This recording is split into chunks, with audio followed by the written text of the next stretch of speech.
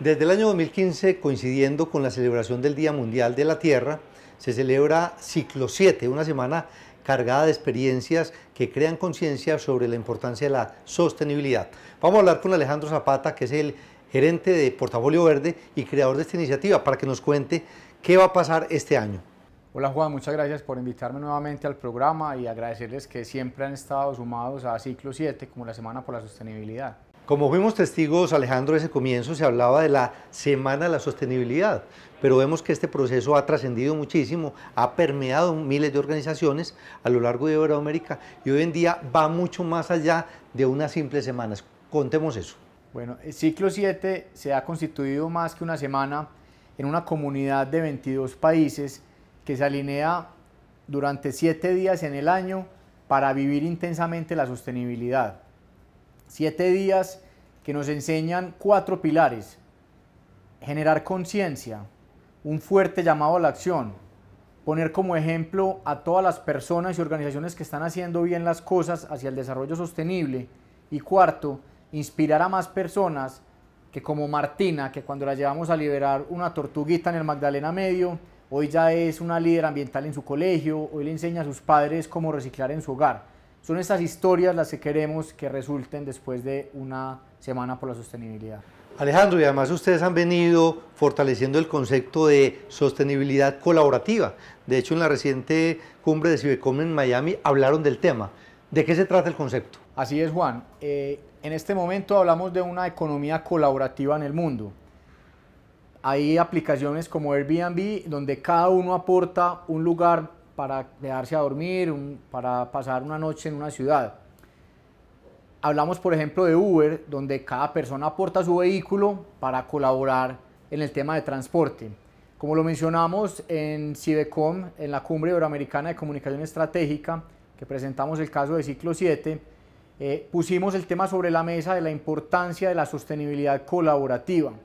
Si debemos construir entre todos una agenda al 2030, la única manera en la que podamos lograrlo será porque yo puedo aportar tiempo, porque puedo aportar energía, porque puedo aportar recursos económicos, donde cada uno aporta lo que puede para lograr realmente una sostenibilidad colaborativa. Ese es el concepto.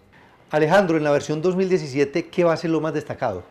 Juan, para el 2017 tenemos eh, una cantidad de innovaciones de lo que hemos venido construyendo. A partir de las experiencias anteriores vamos a tener eh, el día 1 de biodiversidad, más de 180 organizaciones estarán programando liberaciones, siembras, limpieza de cauce en los, en los 22 países.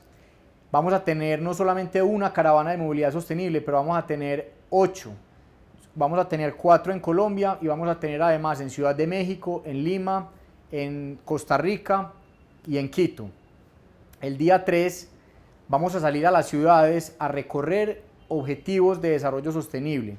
Con esto buscamos que lo que hemos visto ya en los cuadritos de color y lo podamos evidenciar en campo. Aquí tendremos eh, personas que han venido trabajando en este tema en los diferentes países y que nos van a llevar a visitar en un bus, en un móvil, van a hacer foros móviles para salirnos de los auditorios y recorrer los mejores auditorios eh, y los mejores escenarios que son nuestras ciudades en Iberoamérica. El día 4 haremos la premiación de un concurso en el que estamos trabajando para que las personas hagan el hashtag ciclo 7 con materiales reciclables eh, o reutilizables. Tendremos este año en el Día de las Organizaciones, que es el día quinto, vamos a tener a la firma número uno eh, en Latinoamérica, según los expertos consultados por Globscan y Sustainability, que es el señor Pedro González. Pedro González es el presidente de Natura y Natura se ha destacado por haber creado una cultura de sostenibilidad. Vamos a tener, lo vamos a tener en Expo Sostenibilidad, también vamos a tener eh, eh, personas de Crepes and Waffles, vamos a tener al presidente de ISA, vamos a tener a Conasfaltos y vamos a estar muy concentrados mostrando buenas prácticas sobre cómo avanzar en una organización a que sea más sensible a los temas sociales y ambientales. El día 6 estaremos concentrados en los estilos de vida saludable, porque la sostenibilidad arranca primero por la persona, tendremos una gran zumbatón. Eh, en, Medellín será en el centro comercial Premium Plaza y en otras ciudades tenemos también eh, otras eh, organizaciones y entrenadores que se han sumado a la actividad.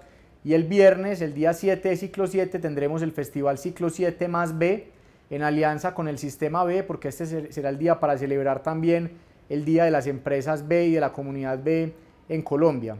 Este día contaremos con el Grupo Providencia, será en el Parque de los Deseos, nos apoya la Fundación EPM y es muy importante contar que cada año tenemos el respaldo de diferentes organizaciones. Este año contamos con la importante presencia de ISA, de Confama, del Grupo Familia, del Grupo Sura, entre otras organizaciones que nos ayudan a que esta semana sea una realidad. Alejandro, es muy gratificante ver cómo cada vez más organizaciones, entidades, inclusive ciudades se unen, como el caso de Alcaldía de Quito, en donde el mismo alcalde se apersonó del tema.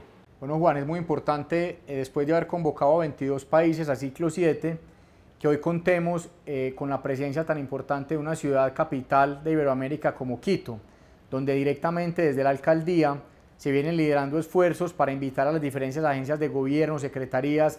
Hay una programación completamente rica en actividades, en experiencias y será también la manera de mostrar con el ejemplo cómo alcaldes, que también los tenemos locales como la, alcaldía de Envigado, la alcaldía de Sabaneta, la alcaldía de Medellín, que también han asumido este reto de vincular a sus equipos de trabajo a una semana como es la Semana por la Sostenibilidad y seguir avanzando en los objetivos de desarrollo sostenible.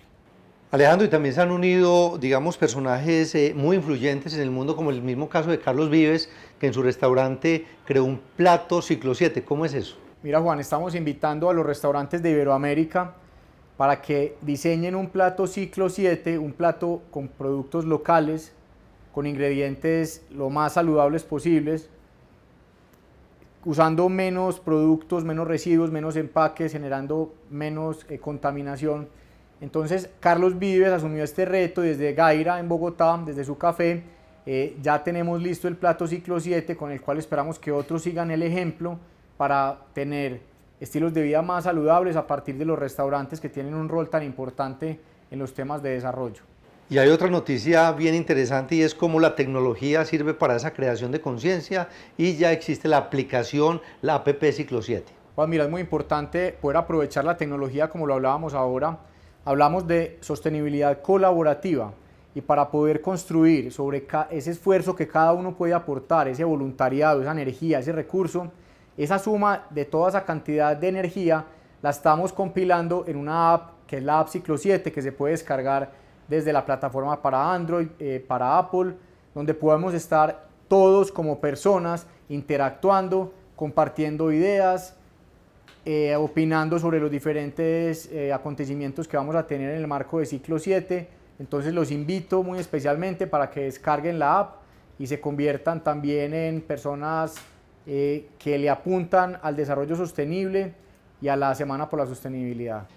Alejandro, la invitación final para que esta iniciativa no sea solamente una semana por la sostenibilidad en las organizaciones, las empresas, las entidades, ciudades o países, sino que vamos mucho más allá. Así es, Juan, la forma más importante, más importante, 3, 2, 1.